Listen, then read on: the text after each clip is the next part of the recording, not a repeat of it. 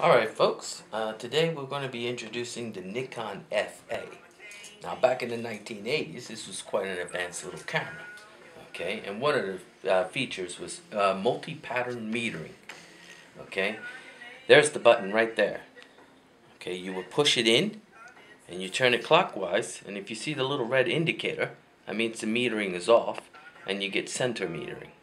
Center metering. And if you push it in, turn it anti-clockwise boom, she's off. And I mean, she's on. And she's got multi-pattern metering.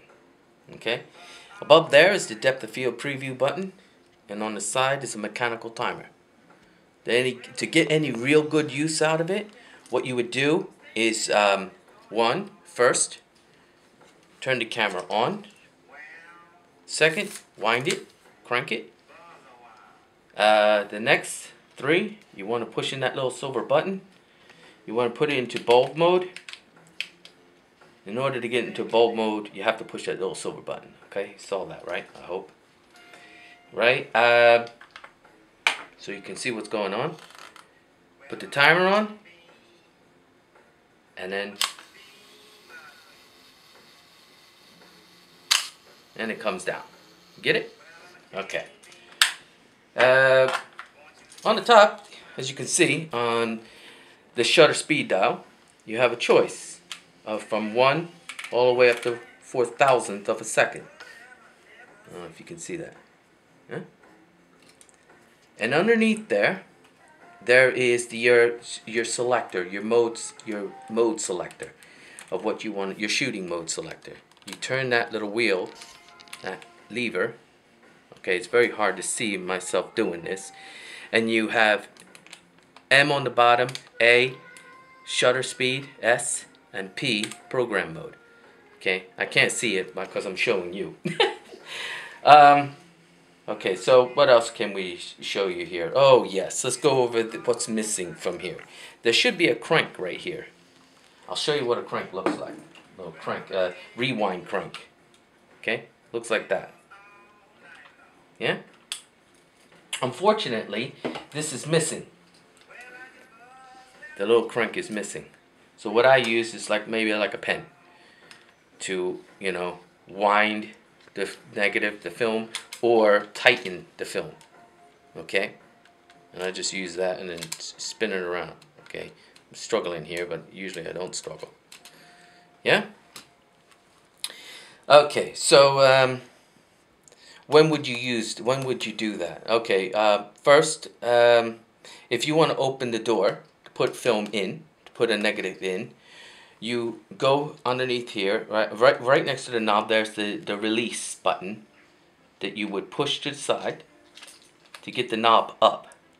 Once the knob is up, you pull it, and it's kind of like a spring-loaded action.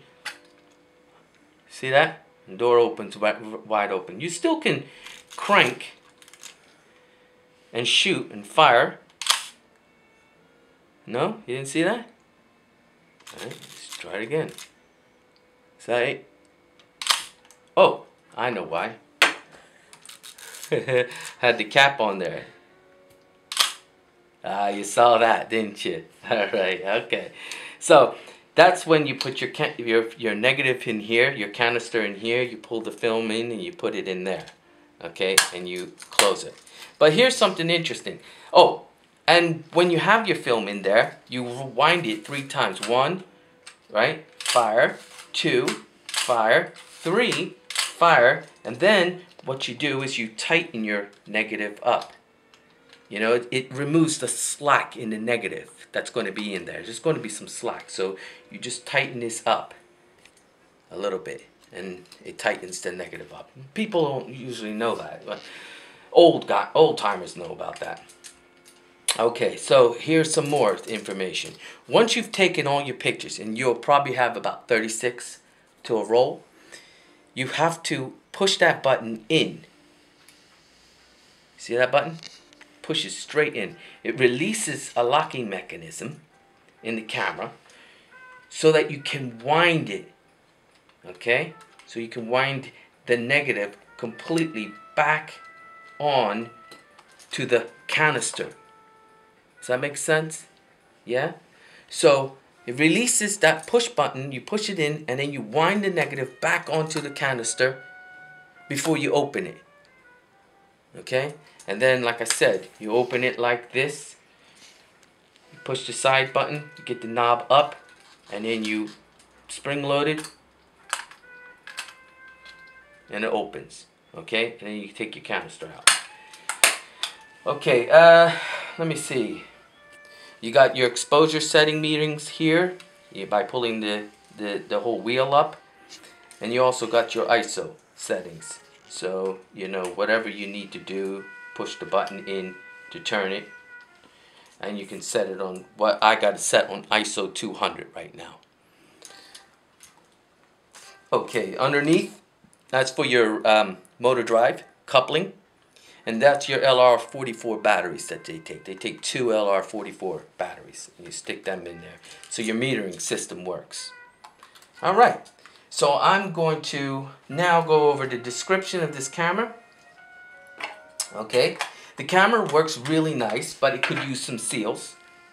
Okay. It can use some, like, you know, the little foam sponge seals. It's not real seals. They're like, you know, little foam things to, so that when the mirror's bouncing up, it's nice and soft. And, uh, you know, uh, let me see.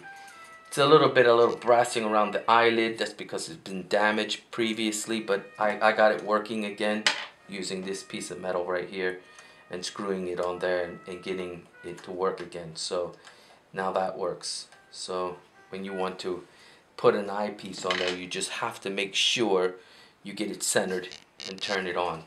Uh, there's a little bit of brassing on the edges. Okay, a little bit of brassing on the edges. A couple light scuffs here and there.